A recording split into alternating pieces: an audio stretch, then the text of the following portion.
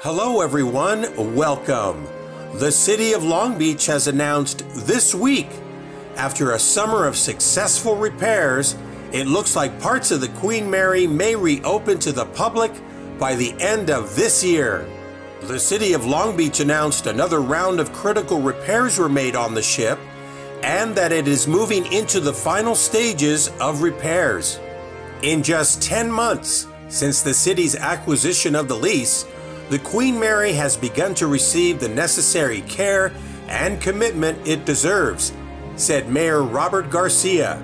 I look forward to getting people back on board to enjoy this historical treasure once again.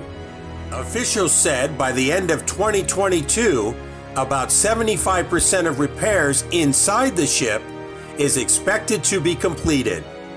So, once again, any thoughts or insights that you would like to share in regards to a possible reopening by the end of the year? The Queen Mary. Please do. Thank you.